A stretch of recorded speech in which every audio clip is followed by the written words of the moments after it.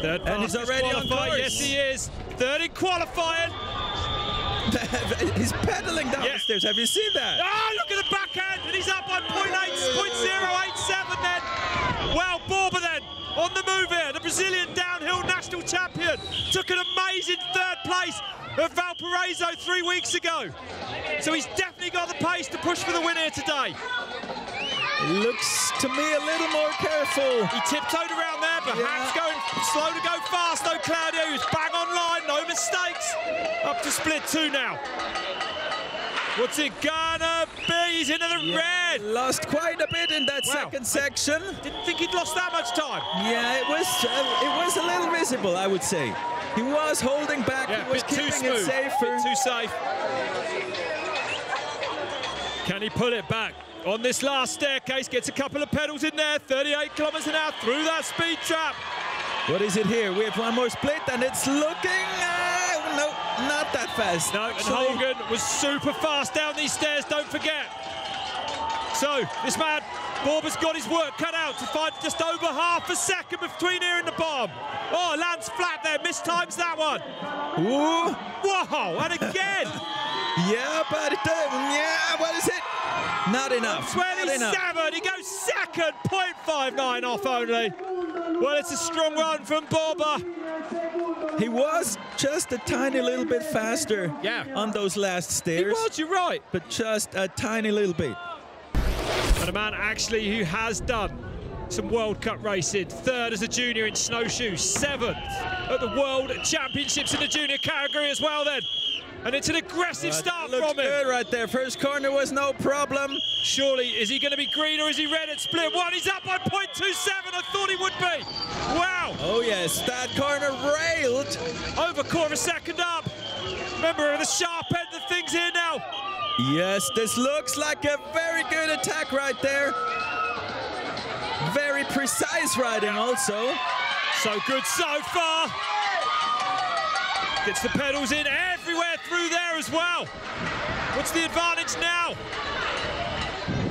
Over a second oh, for him. Takes his foot out. Extending Yeah, Massively. good through there as well. Now into that slippery turn.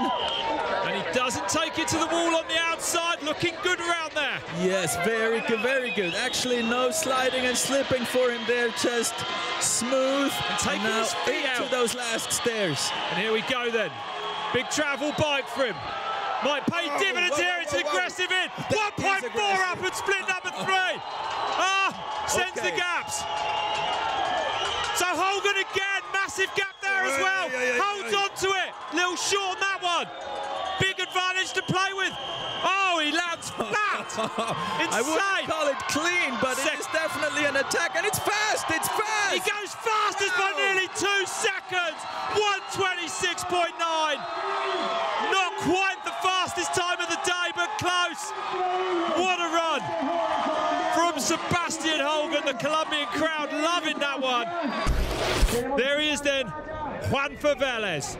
A man who has incredible talent, incredible skills on a bike, sublime skills the way he rides his bicycle. As you're about to see, can he take the pressure today? The last man at the top of this hill. The biggest race run of this man's life to pull it off on home soil. It'll be at least a year before he gets another chance. Oh, Juanfer Velez on Right, track there then. we go. What's he going to bring to this race today? what is he doing Aggressive. first turn? Aggressive. Smooth, smooth. Slides Is around that first fast turn. Let's have a look at this split. Well, 600th that doesn't mean anything, but that turn was railing. yep, still Squashes onto there hard. That's looking good. That's looking good. But he needs to push it now. Oh, he slides in there. He Didn't does like take lost- some risks, which is a Oh. good, which shows us he's committed. Tucks the arm in around that post. Split Who's going to tell us more. Is it going to be red or is it going to be green for Velez? It's more into the red, but only by another. Only 200. hundredths, nothing. Yes. So still absolutely on winning pace here. And the staircase is what it's going to come down to. We said it at the start of the show. And also these long turns, which he's in right now. Yeah. That is also a very important factor. Another split time coming. Up. Oh, little mistake right Little there. slide that there. have cost him some. Split coming up right Listen here. to the crowd. Is Listen it? to the crowd What as he comes into this last section.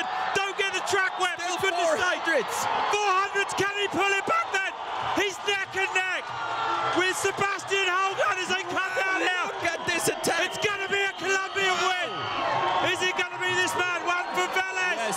gonna be. It's gonna be. Look Velez is to Yes, smash it. yes. For Velez wins. What? Red Bull medal in Cerro Abajo. 125. He's done it. Look at the time. What? Velez is on top. That was insane down that staircase. He, he rode the track at almost exactly the same Yeah. pace all the way to the stairs and then rode those stairs two seconds faster. Well, Velez will be feeling pretty good in there right now. That was insane.